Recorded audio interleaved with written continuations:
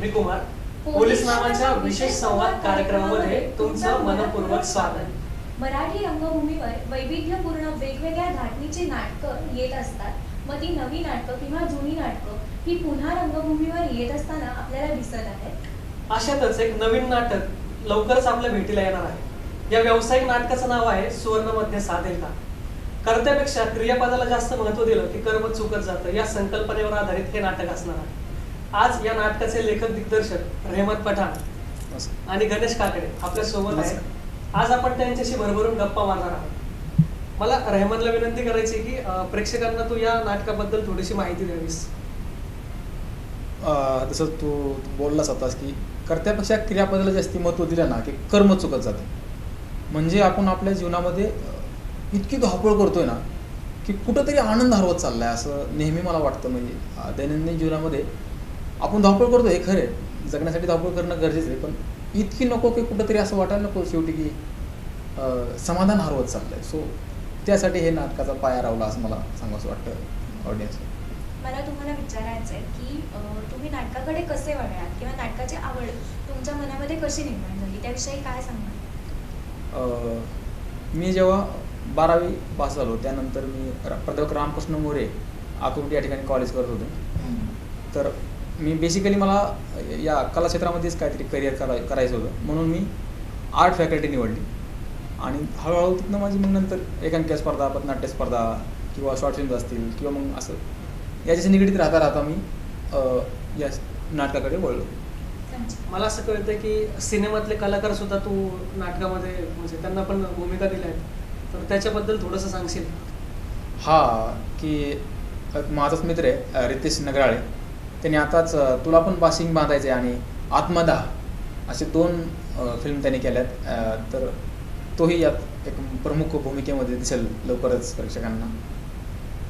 तर अशा पद्धतीने सिलेक्ट केले शीतल राऊत नावाची एक अभिनेत्री आम्ही ऑडिशन मधून घेतलेली. जिने ताटवा या शॉर्ट फिल्ममध्ये काम केलेलं आहे. अरुण नलावडे सरांबरोबर. एकूण म्हणजे किती पात्र आहे त्याच्यामध्ये? अकरा पात्र आहेत. अच्छा हो.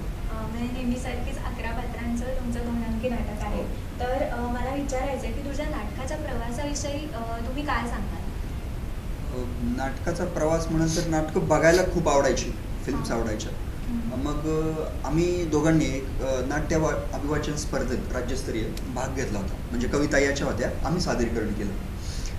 तर त्यामुळं आम्हाला परत आणखी एक आणि दम्म नावाचं नाटक मिळालं. ते आम्ही दोघं जणांनी केलं.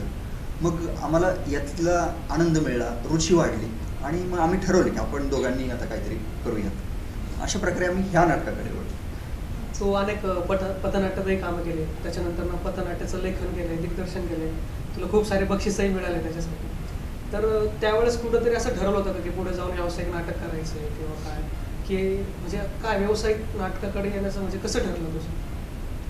मला नेहमी असं वाटायचं की जेव्हा मी पुण्यात आलो मी बेसिकली उस्मानाबादचा असल्यामुळे मी जेव्हा पुण्यात येतो तो बालगंधर्व म्हणा किंवा हे जी या- या थिएटरकडे बघून जरी असं नुसतं समोरनं जरी गेलो तर असं वाटतं की इथं काहीतरी आपलं व्हायला हवं स्वतःचं. आणि त्यावेळेस असं वाटायचं की मी ज्या ठिकाणी आता युथ फेस्टिवल असेल पुणे विद्यापीठाचा किंवा एकांकिका स्पर्धा हे करणं ही सुरुवात आहे पण त्याचा शेवट स्पर्धा नसावा असं मला नेहमी वाटतं. त्याला कुठेतरी वेगळं स्टेज भेटावं म्हणून मी व्यवसाय नाटकाकडे वळलो शॉर्ट फिल्ममध्ये पण तू काम केलंय. त्याचंही लेखन दिग्दर्शन केलं. ही सारी खूप सारी बक्षिसं खूप सारं कलेक्शन हे ज्यावेळेस भेटलं त्यावेळेस कसं कसं वाटलं तुला? अं, हे माझं सुदैव समजतो मी की जसं मी माझी ग्रोथ करत गेलो कॉलेजमध्ये म्हणा किंवा बाहेर तर मला माझ्या जीवनात एक एक हेऱ्यासारखी माणसं मला भेटत गेली. आणि मग अशी एक माळ गुंपली जसं आपण म्हणतो त्या माळेसारखी माणसं भेटत गेली त्यांचा गायडन्स आणि माझी मेहनत. दोघांचं कॉम्बिनेशन केल्यानंतर एक मिक्सर जसं आपण रस बाहेर पडतो तसा हा रस बाहेर पडला.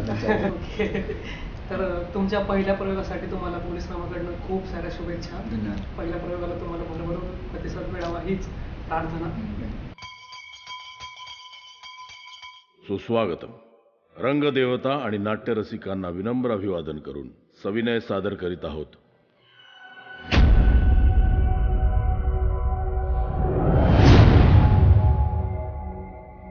मित्रांनो सत्य पाहायचं असेल तर डोळ्यांना भोंगळं पाहायची सवय लावून घ्यायला शिका.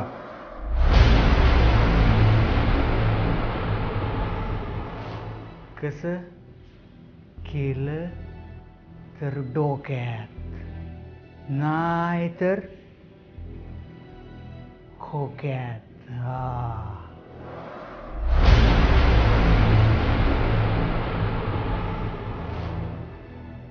आवडलेलं निवडावं? की की निवडलेलं आवडून घ्यावं? हा जरी एक प्रश्न असला ना तरी मात्र उत्तर शोधता शोधता आयुष्य संपून जातं.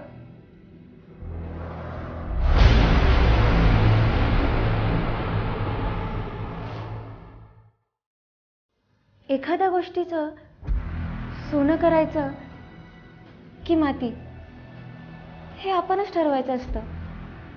मग ते प्रेम असो किंवा द्वेष.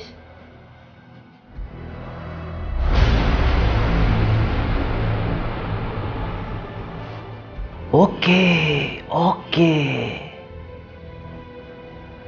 Compromise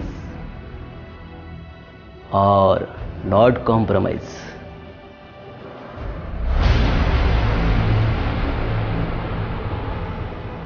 कर्त्यापेक्षा क्रियापदाला जास्त महत्त्व दिलं. की कर्म चुकत जात.